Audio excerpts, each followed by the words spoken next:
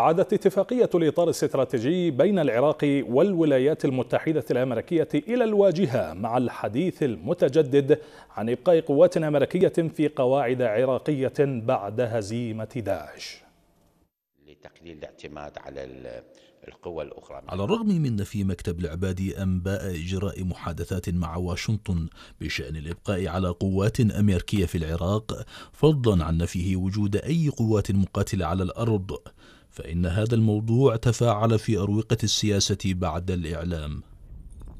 أعضاء في مجلس النواب رأوا أن الوجود العسكري الأمريكي في جانبه الاستشاري أو القتالي إنما يأتي في إطار اتفاقية الإطار الاستراتيجي الموقعة عام 2008 بين بغداد وواشنطن مقرين بأن العراق يعد تحت الانتداب الأمريكي.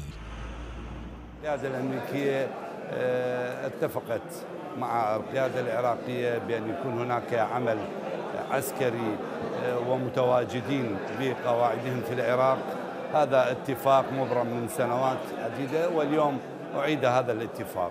فنحن تحت الانتداب الأمريكي وهذه حقيقة يجب أن آه، نعتقد بها ونؤمن بها وهذا هو حاصل ما جنيناه من الحروب. نواب آخرون نقلوا عن جماهيرهم ترحيبهم بعودة القوات الأمريكية إلى العراق لصد تدخلات دول الجوار استنادا إلى الاتفاقية الموقعة مع واشنطن.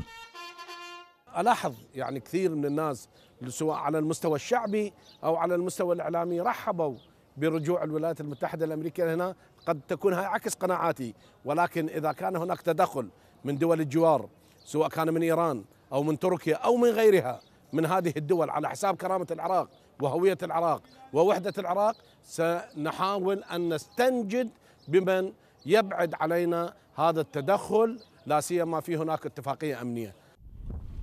غير أن الوجود الأمريكي في العراق يثير حساسية كبيرة لا سيما لقوى التحالف الوطني المتحالفة مع إيران والتي يهدد بعضها بين وقت وآخر بضرب القوات الأمريكية في حال عودتها.